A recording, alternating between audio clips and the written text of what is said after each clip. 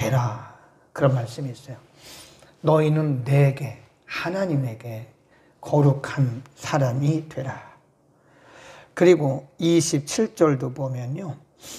22장 27절도 보면 나는 자비한 자임이라. 그러면서 자비와 긍휼을 베풀어라.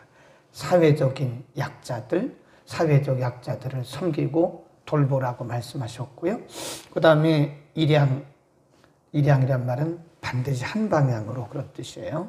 일양, 우리가 정의롭게, 예, 공의롭게 예, 그렇게 살라고 말씀. 그래 하나의 어떻게 보면 윤리나 도덕처럼 보일 수 있으나 사실은 그것은 거룩입니다. 거룩. 하나님의 백성들의 생명은 거룩이에요. 거룩이란 말은 구별되었다 그런 뜻이죠. 세상과 구별되었다. 죄와 구별되었다. 그건 오늘도 마찬가지예요.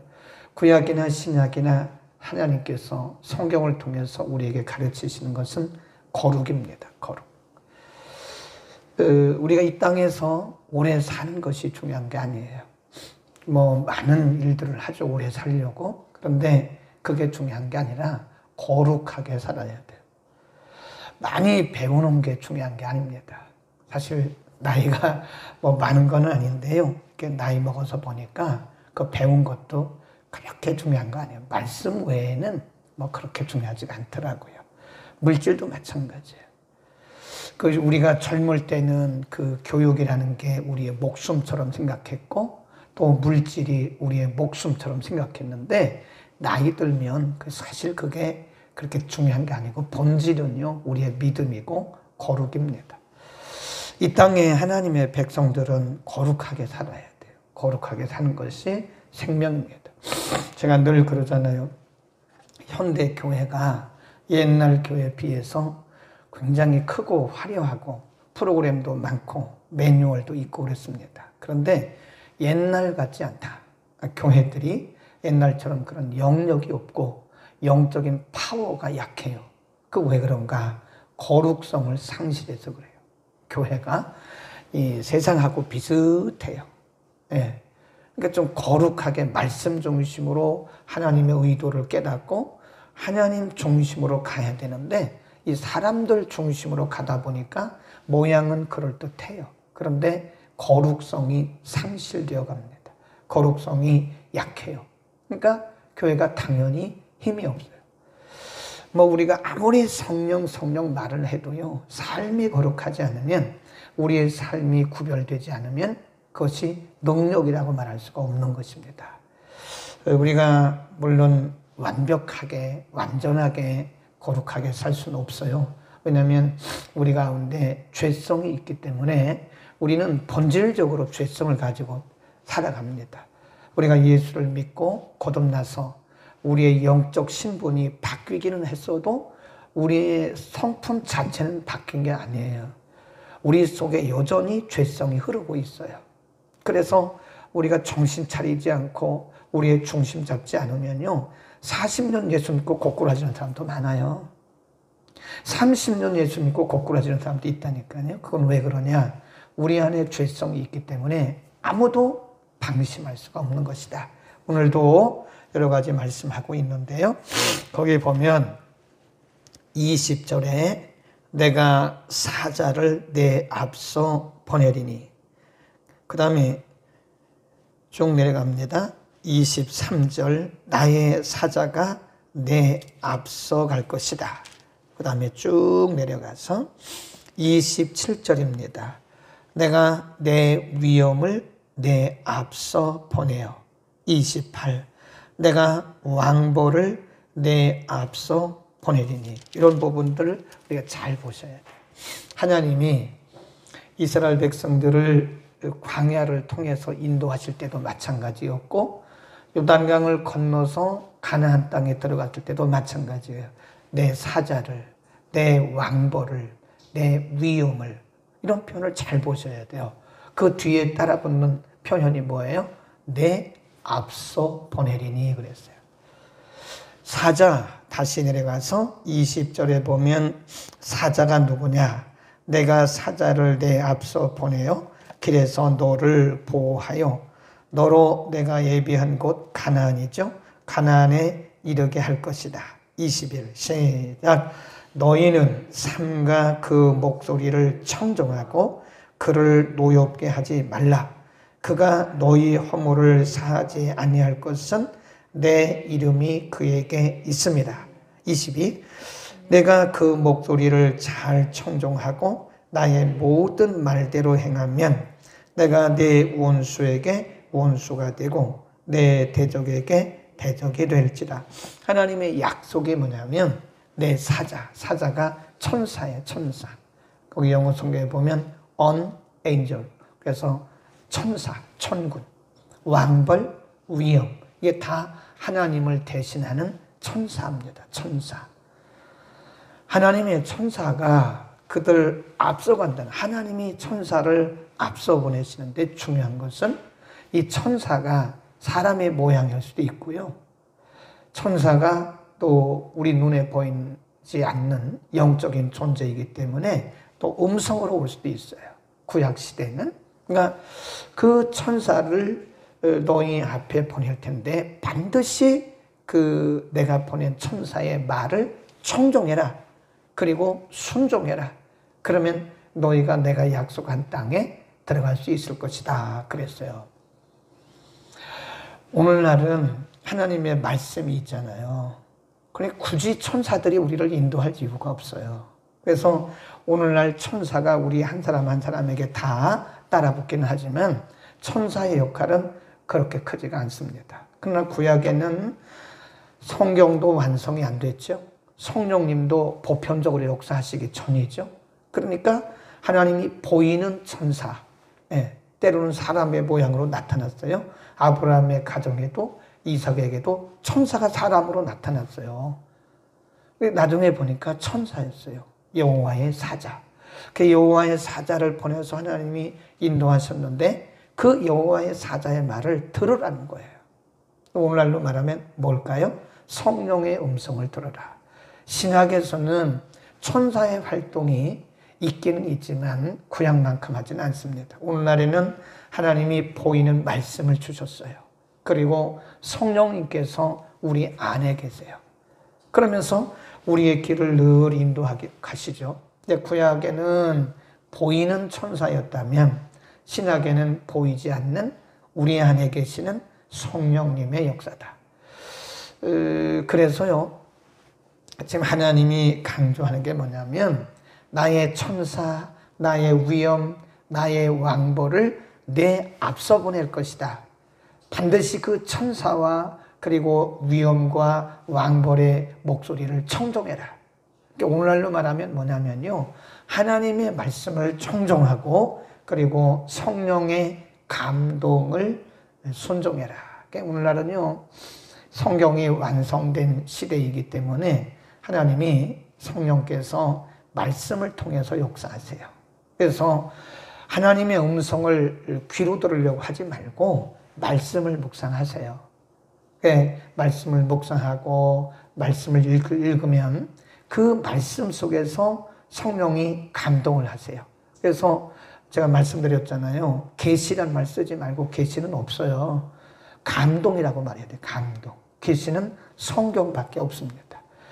완벽한 계시인 성경이 온 이후에는 성령의 감동이 있을 뿐이지 계시는 없어요.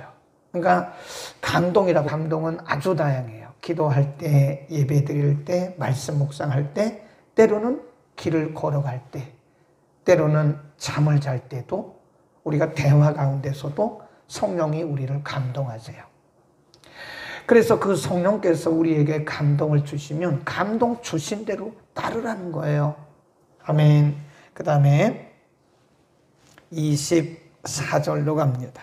24절에 보면 또는 그들의 신, 그들의 신이 누구죠? 가나안 족속의 신을 숭배하지 말며 섬기지 말며 그들의 소위를 본받지 말고 그것들을 다 회파하며 그 주상을 타파하고 25절 시작 너의 하나님 여호와만 여호와를 그거를 여호와만으로 좀 이렇게 바꿔주세요.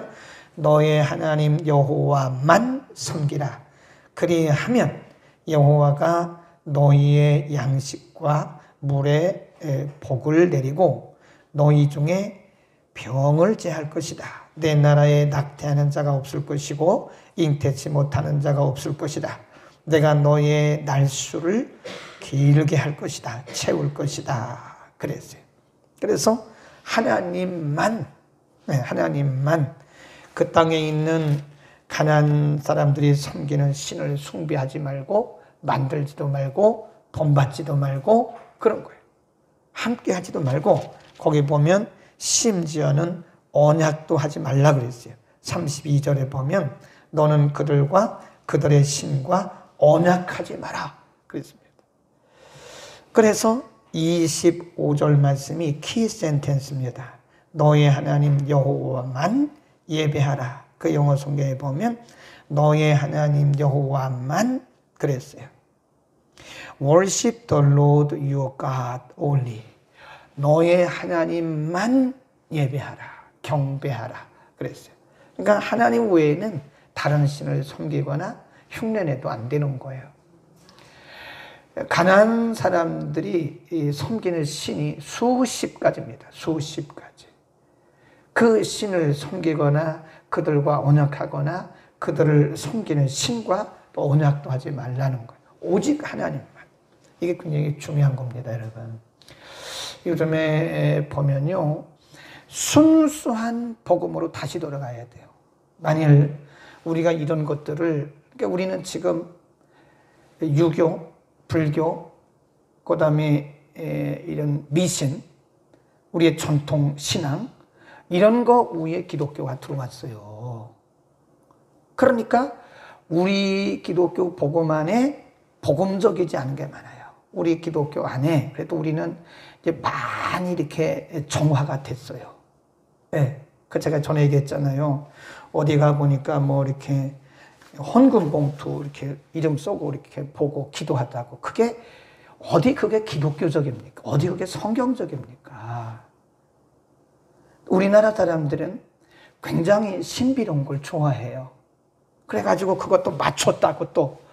아니, 뭐, 무당은 못 맞춥니까? 무당도 과거 얘기 다 맞춰요. 그거 맞췄다고 또 막 갖다 헌금을 이만큼씩 하고. 그렇게 하는 일들이 우리 문화예요, 문화. 그 종교적인 문화라 그래요. 가나안에는 그런 게 더 많다는 거예요. 그런 걸 따르지도 말고 흉내지도 말고 흉내내지도 말고 언약도 하지 말라는 거예요. 그래서 하나님께서 계속 모세를 통해서 당부하고 당부하고 당부한 것이 바로 그겁니다.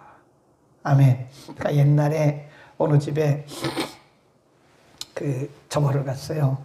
신방을 갔더니요. 문에서부터 십자가가 다 그려졌어요. 문에서부터. 그래 내가 아니 1층에 살았었는데 1층에 사셨는데 아, 뭐 이렇게 문에서부터 교회도 아닌데 다 십자가를 그려놨어요. 그랬더니 귀신 못 오게 했대, 귀신 못 오게. 맞기는 맞죠?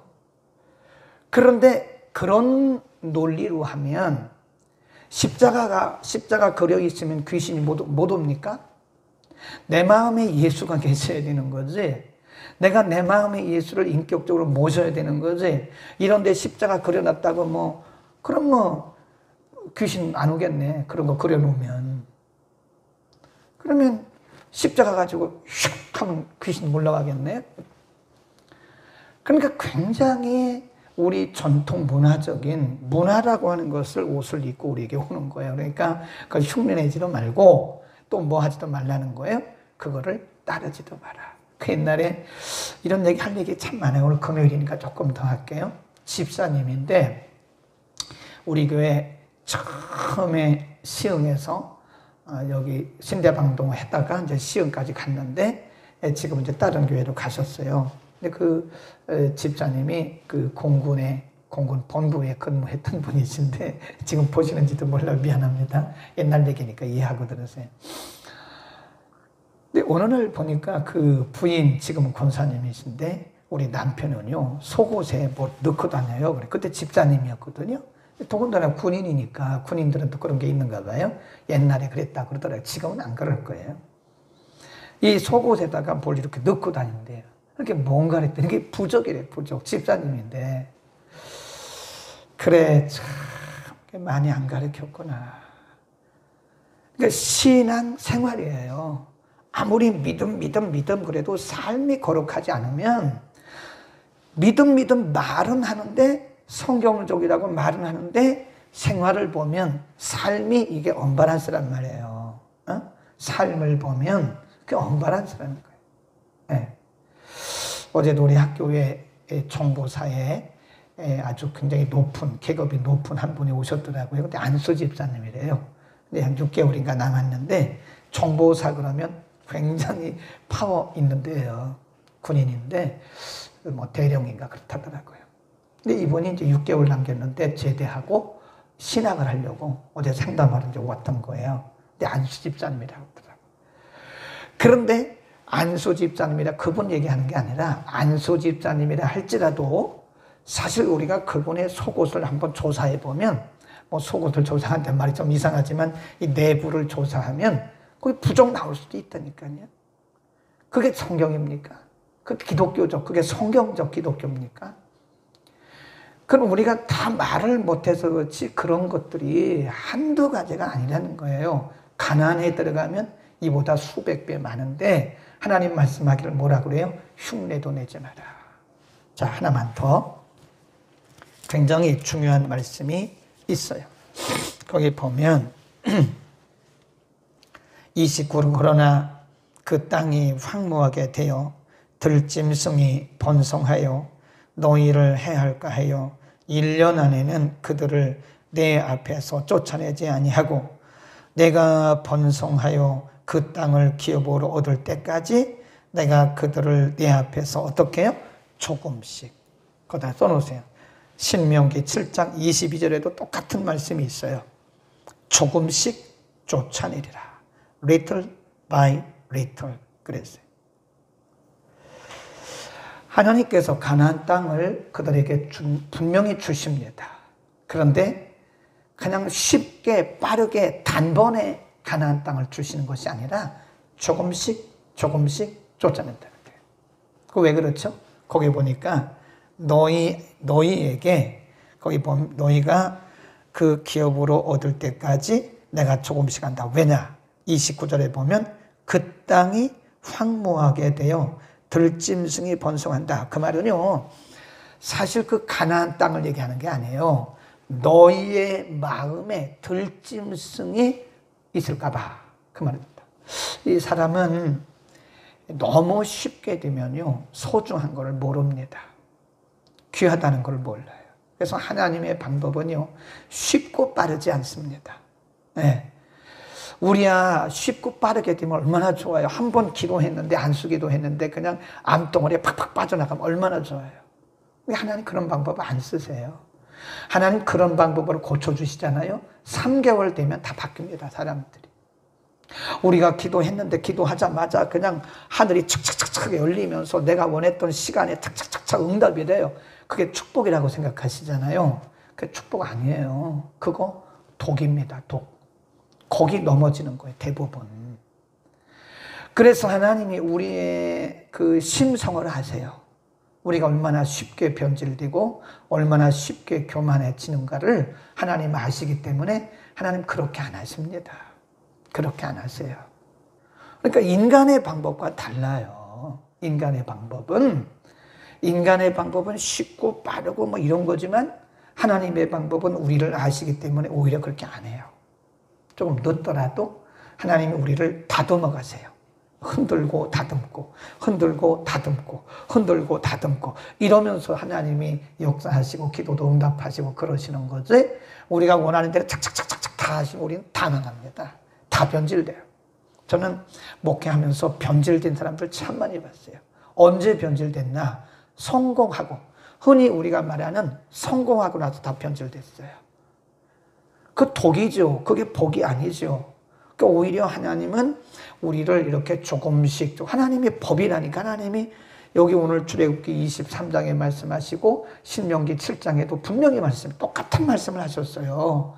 내가 너희의 마음이 너희의 마음 속에 뭐가 생길까봐 부패할까봐 내가 조금씩 조금씩 조금씩 1년 안에는 안 하겠다. 빠르게 하지 않겠다 그런 얘기. 혹시 우리가 기도하는 부분이 응답이 안 돼도 그 응답이라고 믿으십시오. 우리가 이제 우리가 그, 그 교통 신호들을 보, 신호등을 보면요. 세 가지요 세 가지. 하나는 청색 가시오. 그 다음에 적색 서시오. 노란색 기다리시오. 우리의 신앙생활에서 이 삼색 신호만 잘 지켜도 우리 성공할 수 있습니다. 신앙생활 성공할 수 있어요. 하나님이 길을 여시면 청색입니다 가세요 하나님이 길을 막으시면 서세요 적색입니다 그 다음에 하나님께서 황색 신호등을 보이시면 기다리세요. 인간의 방법으로 막 하지 말고 기다리세요. 안 기다리고 그냥 가면 사고 나요. 큰일 납니다. 기다려야 돼. 기도하겠습니다. 걸어가신 우리 아버지, 오늘 새벽에도 우리를 불러주시고, 우리 인생을 인도해 가시는 우리 하나님에 대해서 가르쳐 주시니, 배우게 하시니 감사합니다. 죄 많은 세상, 우연 많은 세상을 살아가는 동안에 우리가 이 세상과 타협하거나 이 세상 사람들이 섬기는 신과 언약하거나 함께 동조하지 말게 하시고 오직 여호와 하나님만 예배하는 우리 모두가 되게 하시고 끝까지 우리의 생명이 닿는 그날까지 우리의 순수한 믿음, 성경적 믿음을 유지하고 보존할 수 있게 하여 주옵소서. 우리도 모르는 가운데 우리의 습관적으로 우리의 문화 속에서 성경을 떠난 이 세상 사람들을 흉내내는 것들이 있다면 하나님 용서하시고 하나님만 섬기고 하나님 말씀대로만 살아가는 우리 모두가 되게 하여 주옵소서. 걸어가신 아버지, 우리의 원하는 시간에 우리가 원하는 생각대로 우리가 원하는 방법대로 되지 않을지라도 하나님 여전히 우리의 앞서가고 계시고 우리 중에 함께 하심을 믿고 하나님을 신뢰하고 가라 하면 가고 서라 하면 서고 기다리라 하면 기다릴 줄 아는 아름다운 믿음 거룩한 믿음 허락하여 주옵소서 예수 그리스도의 이름으로 기도드립니다. 아멘